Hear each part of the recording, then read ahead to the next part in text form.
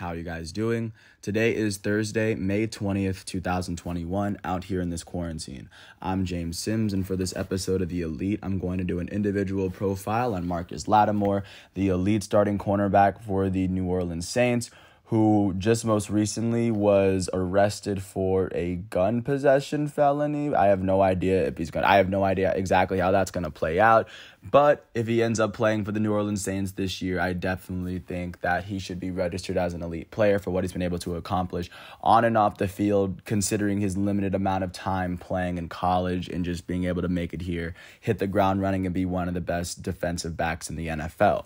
If you're unfamiliar with him, uh, he sits at a he's a he's about a regular size cornerback, a six foot, one ninety two, very rangy, very physical. He's very intelligent. He plays in a division with Julio Jones and uh, Mike Evans, like some very physical receivers, some very fast ones like Calvin Ridley. Like it, they they they, they kind of come all around, and he's been able to stay consistent and help the Saints at least from the defensive side of the ball. Uh, especially when before he got there, Drew Brees and the Saints have really been missing that defensive presence, especially in the secondary.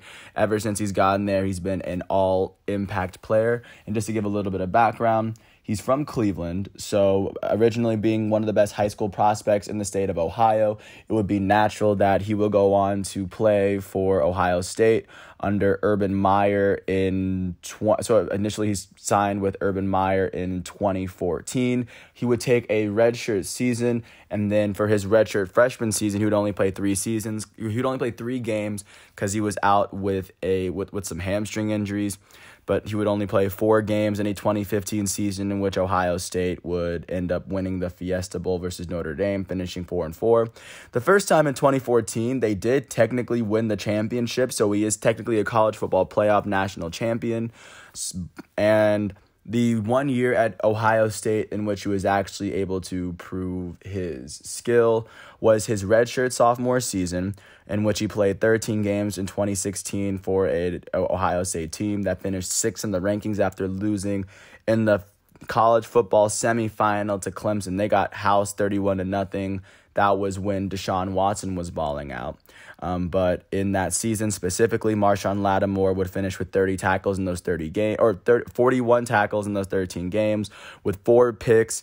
Uh, one of them being a pick six with nine passes defended. And he had proven that he was such a good prospect in college at Ohio State that he was take like that after only one year in college, where in, in which he was a starter for Ohio State, he was taken with the 11th overall pick in the 2017 draft by the New Orleans Saints. I believe he might have been the first corner taken off the board. He actually was. He was the second DB to Jamal Adams, who was also an, a, a player with an elite profile on this list. Just to show how good he was, that he was he was the highest ranked corner after playing really only one year. So following, so once he would get drafted to the New Orleans Saints, he would be an impact, an instant impact player all the way, or right away in his very first season, his age 21 season in 2017. He would make the Pro Bowl after starting 13 games for a New Orleans Saints team that finished with an 11 and 5 record, winning the NFC South, making the playoffs for the first time since 2013, and winning the NFC South for the first time since 2011 when Drew Brees won the offensive player of the year and also at the same time this this so so in the 13 games that he would play he would start all of them. He would finish with five interceptions, the most interceptions even to date that he's been able to log in a season. He logged a pick six, the only pick six of his career thus far. He had a forced fumble and a fumble recovery as well as he finished with 52 total tackles in those 13 games. Doing the math, that's exactly four tackles a game. And following the end of the season, he would be named the Defensive Rookie of the Year, and Alvin Kamara would be named the Offensive Rookie of the Year. Uh, and at, once they made the playoffs, they would end up beating the Panthers in the wild card, and then they would end up losing in the divisional round at Minnesota. That was the I'm not sure which Vikings catch that was. That might have been the Stefon Diggs one, but both of those but that that actually did go on to happen twice i'm not gonna lie i forget which one happened the first time but they ended up losing on the very last play Uh, it was a very tragic end to the season, and this is the season in which the Philadelphia Eagles went on to win the Super Bowl, just for a little bit more context.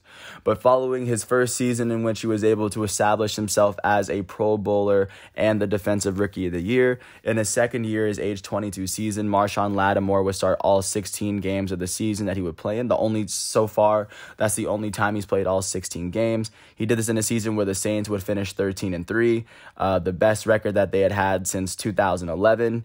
Um, and in this season, particularly, he would not be named a Pro Bowler, but he would go on to finish with more tackles than he did the year before. He had 59 of them. He had two picks.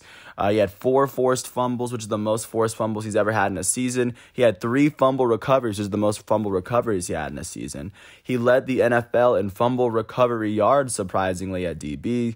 But surprise, but but sadly, or but after missing the Pro Bowl the Saints he would play for the Saints in the playoffs. They would end up beating the Eagles, the defending champs, in the very first round, twenty to fourteen. But they would end up losing in overtime to in the NFC Championship to the Rams. Um, so that would knock them out, and of course, going in overtime, a lot of contentious calls, but regardless, the the Rams would be the team that advanced. And in 2018, they were the team that made it out of the NFC to the Super Bowl, but they ended up losing to the Patriots. So going in, so that would be his second season. His third season in the NFL was his age 23 season in 2019, in which he started all 14 of the games that he played for a New Orleans Saints team that finished with a 13 and 3 record for the second year in a row.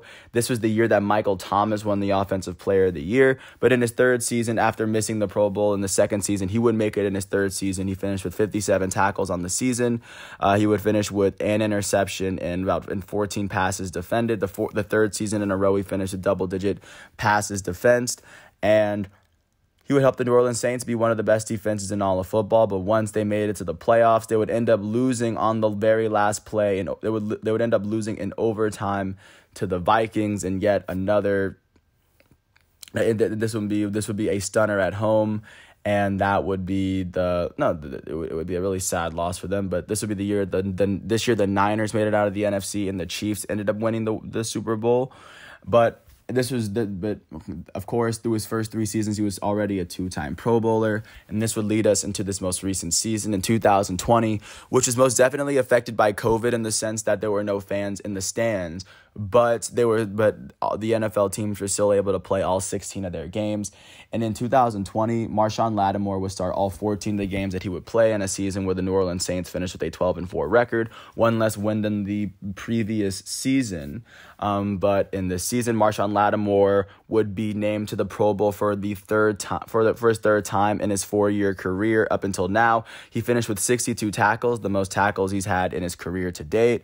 Uh, two tackles for losses, so far career high. He had two interceptions. He finished with uh, like he finished with 11 passes defended, and after making the Pro Bowl for his third time in four seasons, the Saints would end up beating the Chicago Bears in a Nickelodeon play on, on a playoff game on Nickelodeon, and then they would end up losing in the divisional round to the Buccaneers after the game was tied at 20 and, and going into the fourth quarter.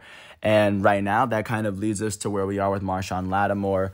But I guess if you want to go more recently, uh, he did get arrested in March for the possession of a loaded handgun that was believed to be stolen.